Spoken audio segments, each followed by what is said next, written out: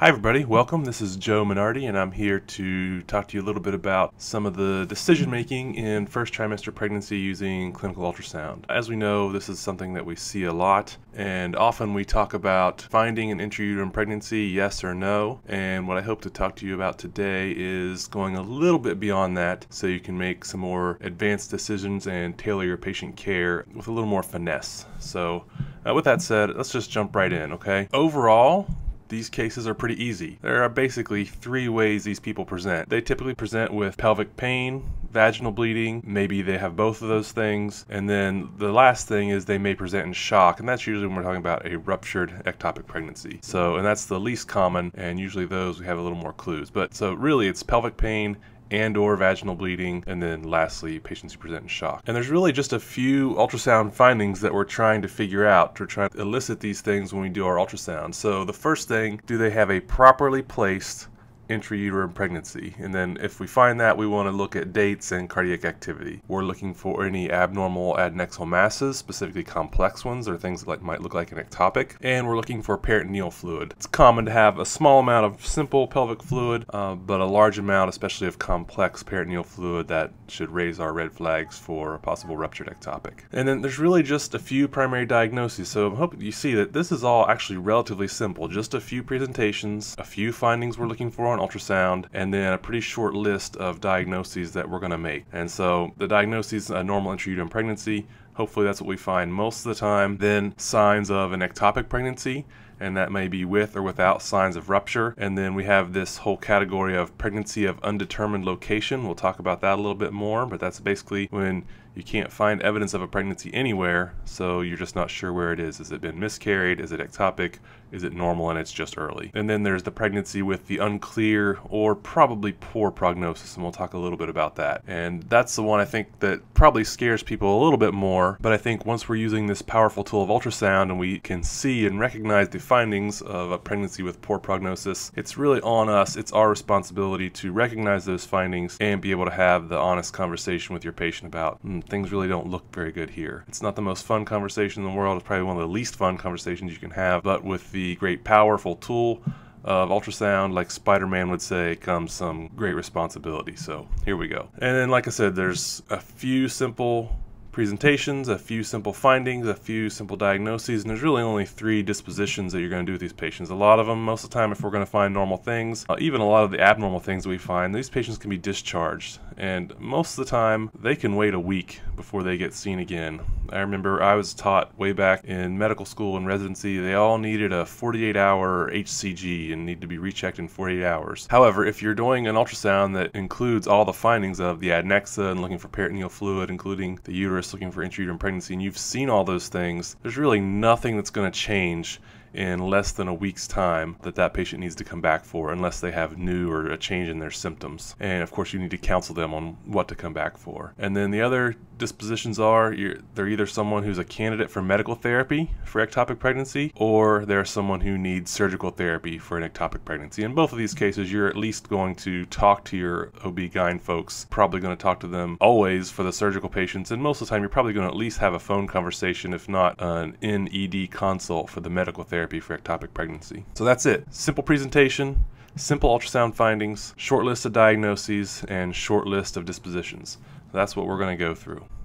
And yeah, there's our little disclaimer about discharge. So we're just to jump right into the first case. So here we go. Here's our case one. So this is a 24 year old female who comes in with vaginal bleeding. She's got some lower abdominal cramps and her period's been irregular, so she has really no idea when her period's supposed to be. Is this just her period? What's going on? And so, like we always do, we got to start with basic things, get a good history, do it a good exam. Well, she has no past medical history. She's not been on any fertility treatment. That's a very important question to always ask these patients. ABCs are good, so she's stable. She's not going to die here immediately, it doesn't look like. And uh, she has some lower abdominal tenderness. So clearly now we know that what the answer is, right? So what's next? Well, what we're going to do first, we haven't even done a pelvic exam, but we're going to do a transabdominal ultrasound because if you do things the right way You walked in the room, you saw on the, the chart the chief complaint was female with pelvic symptoms.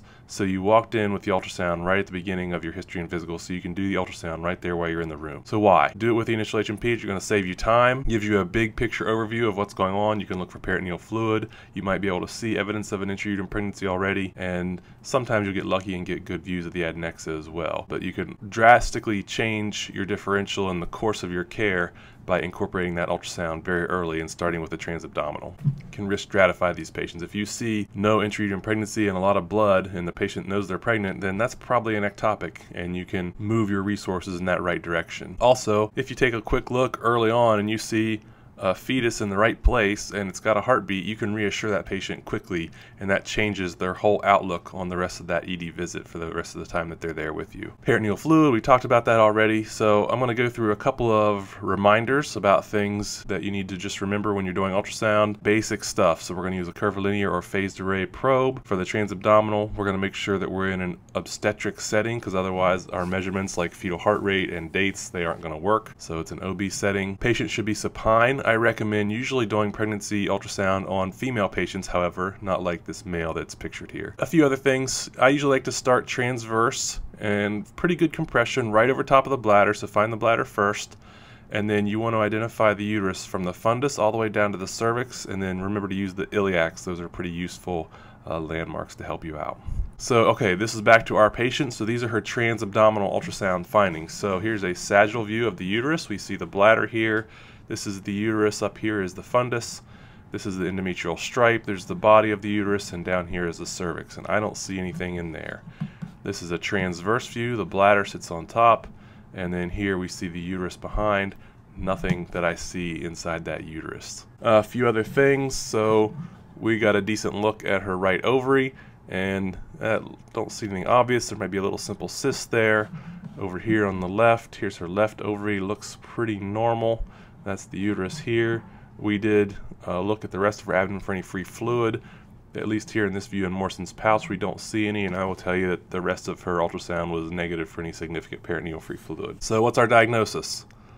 Well, right now it's indeterminate. Right now it's pregnancy of undetermined location, but we're not done yet, so we're going to keep moving. So we move right on through. We do the pelvic exam and there's a small amount of blood at her cervical os. The cervix is closed. She's got diffuse tenderness. There's no obvious masses on exam. So what's next? What do you think is next? What else would I be talking about? Pelvic ultrasound. Reminders of why will you do transvaginal pelvic ultrasound. It's higher frequency. It's closer to the anatomy. It just gives us better pictures and helps us make uh, more specific diagnoses. Reminders. Obviously, we're going to use the endocavitary transducer. We're going to have it in an OB setting. That's that's a big area that people forget and can lead them to problems. Patient should be in the dorsal lithotomy position, so this is usually you just pair this right with your pelvic exam. You can do them together and be more efficient that way. Ideally, you want to have an empty bladder, so try to have them before they do the pelvic exam. Say, go ahead and empty your bladder, and we'll do the pelvic exam. Then you're going to identify landmarks such as the bladder, make sure you see the uterus from the fundus all the way to the cervix. Another common mistake is cutting off or missing part of the, the fundus, the upper part of the, the uterus. Identify the iliacs, those are great landmarks to help you find the ovaries and the adnexal structures. And make sure you're looking for free pelvic fluid as well. So on this patient, we see these transvaginal findings. So uterine fundus. We see the border all the way up here. We see the endometrial stripe kind of opens up until we see this looks like intrauterine gestational sac and within it we see a nice little yolk sac. And here's just a little zoomed in picture. Gestational sac, decidual reaction around it, double decidual sign, and then some little inkling of a fetus inside there. And we get looks at her ovaries. Right side looks normal, normal looking ovary. Left side looks normal. Of course, we did nice complete sweeps through these areas to make sure that we didn't see anything concerning. And all we really found were normal ovaries. So, have a few questions for you. These are questions that you need to be asking yourself as you're taking a look at this patient. So is there a pregnancy? Yeah, I think we saw one. Is it in the right place? Looked like it was right pretty much in the middle of the uterus. It was towards the fundus. It was central. The endometrial stripe seemed to be aligned along the outside of that pregnancy, so it was probably pretty good. What's the gestational age? Uh, we didn't get to that yet, but looked around six weeks maybe. Is there a heartbeat? What's the rate? Well, we haven't gotten to that yet either. What do you see in the adnexa? Well, we really just saw normal ovaries in this patient. And is there excessive or complex free fluid? So these are all things as you're doing the ultrasound, evaluating the patient, you need to ask yourself and elicit these findings with your ultrasound. So here we have a gestational sac measurement. We've actually done several of these and we get an estimate of five weeks and three days, pretty early. And then we were able to toss the M-mode across there and actually pick up some fetal cardiac activity and we calculate a heart rate of 124. So those are important things. Those are very reassuring findings and it's good to let the patient know that. And I also, not going to spend a lot of time on this, but measure the dates, especially when you're doing these early pregnancy evaluations. The earlier you measure the dates, the more accurate they're going to be. So, and you're often going to be one of the first people to measure them. So when you get these dates, measure them and document them from the early ultrasound. All right, so I told you the, the list of possible diagnoses is a pretty short list. So what's the diagnosis in this case? Take a look, tell me what you think.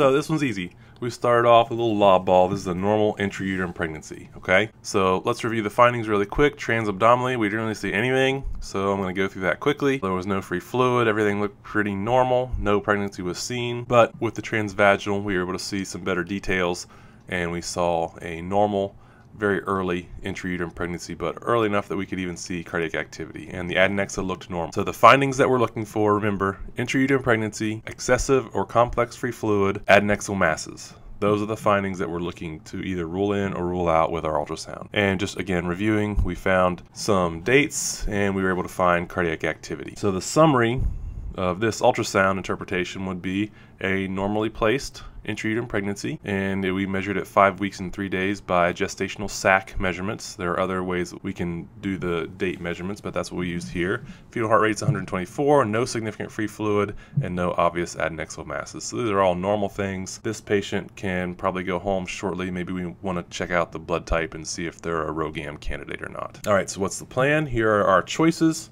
Take a look at these and see what you think.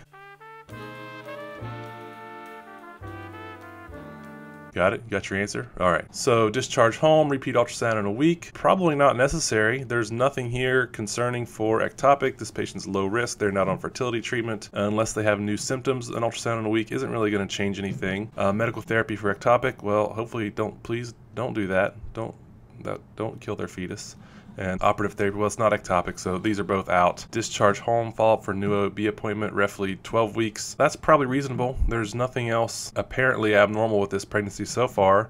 So really, they don't need to be seen again until their first OB appointment, which is usually around 12 weeks of gestation, unless they have new symptoms or problems. Discharge with guidance for likely miscarriage. Well, not in this case. Let them know that when you're having bleeding or symptoms, there's still a risk, but let them know that nothing that you see here indicates an impending miscarriage.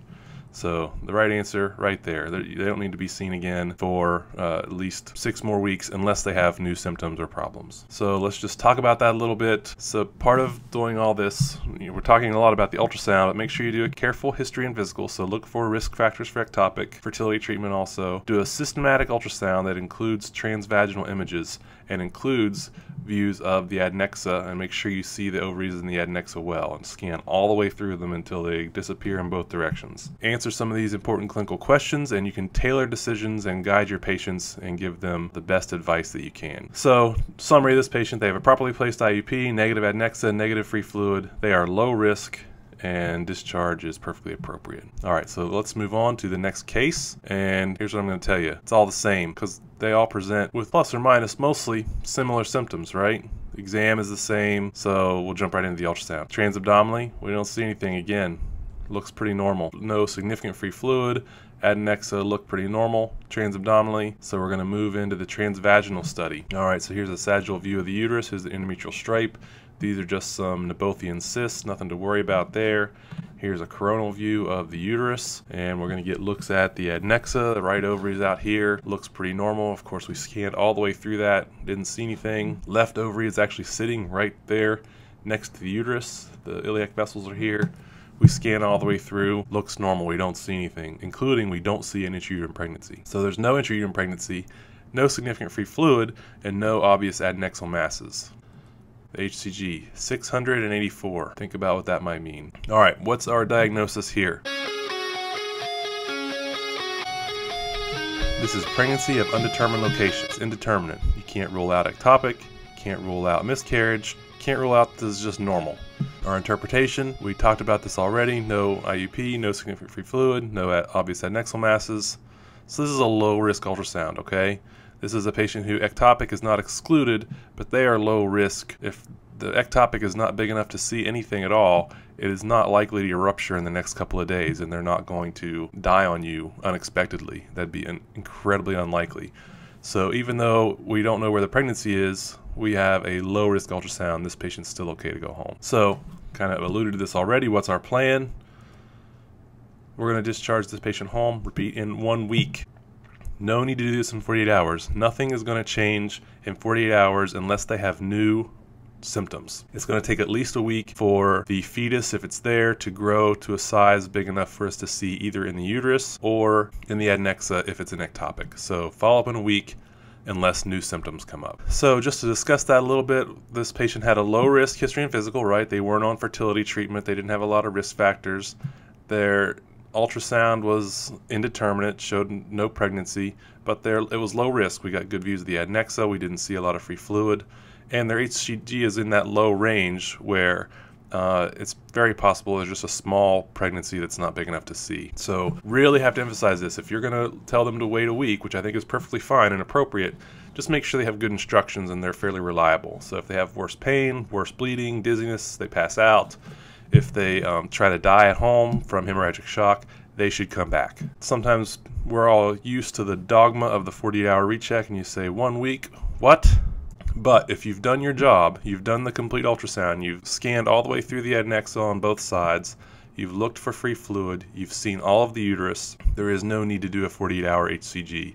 It's not going to change anything in your plan. Nobody's going to do surgery, and nobody's going to call this a um, an ectopic or a miscarriage in 48 hours. So have them wait at least a week. Moving right along to our next case, and um, same history, same exam, moving right into the ultrasound.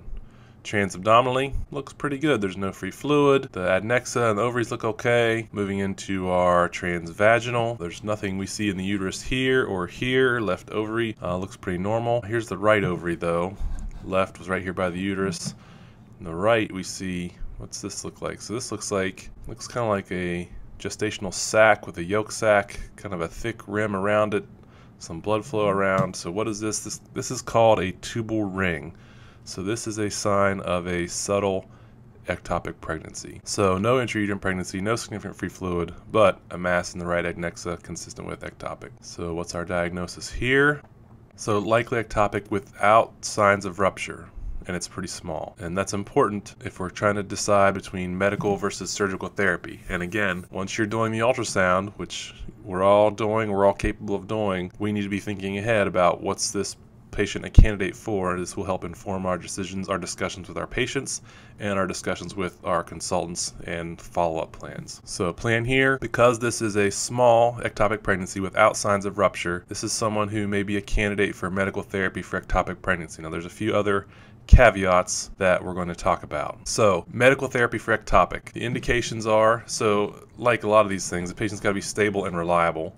Their ectopic needs to be small, so you got to measure the borders of that ectopic pregnancy. It should be less than three and a half centimeters. And if you have any question about that, take several pictures and several measurements in different planes. No signs of rupture, so that's why it's very important to look for the free fluid all over in the pelvis and up in the upper abdomen. Generally, the fetus shouldn't have heart tones and the HCG should be less than 5,000. These are considered to be pretty much contraindications to medical therapy as well, because these are thought to be just bigger and higher risk for rupture and higher risk to fail medical therapy. Obviously, the contraindications if the patient's unstable, they've got signs of rupture, and if they've got signs of cardiac activity or a high HCG, medical therapy is not likely to work, and they still have a good chance of rupture, so these are reasons not to do medical therapy. So our patient, she meets all these, so she's a good candidate for medical therapy. And this is just another time, I'm going to say it again, doing the whole ultrasound, looking at the adnexa, looking for the free fluid, allows you to make more tailored and better management decisions for your patient and helps you inform the patients of what's going to happen, what they need to do, and informs your decisions with in your discussions with your consultants. So you might need to think about that a little bit. So I'll let you ponder that